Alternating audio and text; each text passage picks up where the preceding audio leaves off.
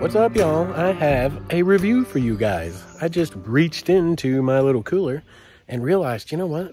This is one of those things that I should probably tell the people about because it is highly functional and durable and has done a great job for me for years. So today, I'm going to do a quick um, product demonstration and a little bit of a review of an IceMule cooler. All right, take a look at it here. You can see it's just a bag cooler. You can see how it is constructed where it rolls up. I'll show you. You just unroll the top. You roll it up and bend it back and hook it to latch it. But it's just a soft-sided, insulated cooler. Now this guy, I've had for roughly four years, four to five years, and I cannot, I don't know how many river miles I've done with this thing, countless, countless river miles. And look where I'm at today. It's beautiful out here, isn't it? War Eagle Creek, lots of smallmouth, been a great day. But anyway, point is, the soft-sided IceMule cooler. You guys are surely familiar with the Yeti version and everything else, but Yetis are really expensive. This guy comes in at like maybe $55 retail. This one, this particular one, um, when I picked it up. I got it on clearance for 30, so it's even better deal. Those make me really, really happy.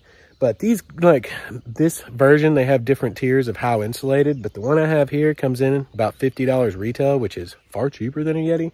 And like some of the perks, I'll show you. The reason you get a soft-sided perk uh, cooler for the river is so when you roll it up, you put that guy on the deck of your kayak, you put your straps over it, it rides way better than a hard-sided cooler. You ever try strapping a hard-sided cooler? It did that freaking crap for years. It was ridiculous. Anyway, this thing works really, really well. And that's why I want to tell you about it. Four years of wear and tear and abuse, and it's done a great job and it's still holding up.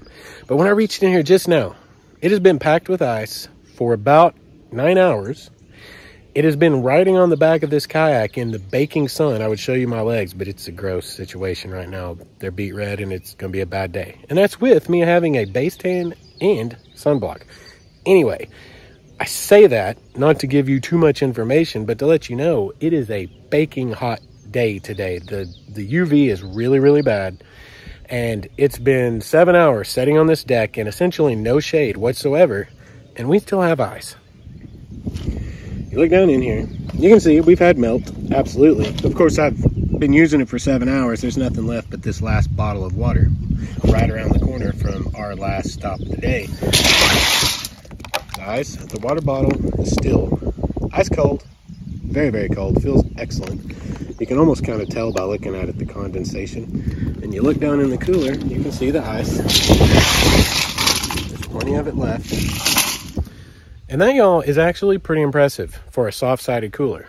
The perk and the reason why I carry a soft-sided cooler, and you might be interested, is they are very, very, very easy to carry on a kayak. Their packability is great. You just roll them up tight, slap them down, put them underneath the straps, and you're good to go. But they typically don't keep ice as well as a hard-sided, but hard-sided are a pain in the butt. There's nothing on a kayak that fits a hard-sided cooler, unless you have a big old, you know, fishing kayak that's kind of built for that, but I'm not a bougie. I'm not after that kind of time on the water. I want to get down and dirty by nature.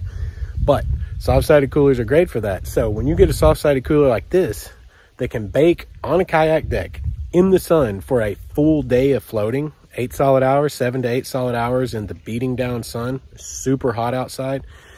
That's impressive. And that's what you want. Like, this is not going to be a multi-day bag. It's just like not going to be, but they have, IceMule has a higher tiers that will last longer.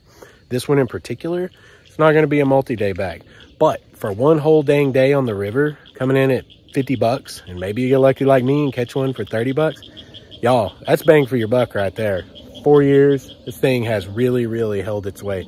So anyway, just wanted to throw that out there because it just dawned on me, hey, I could get a quick review in and people seem to like these review videos. So you guys should consider getting you an IceMule cooler. Anyway, that's it for now.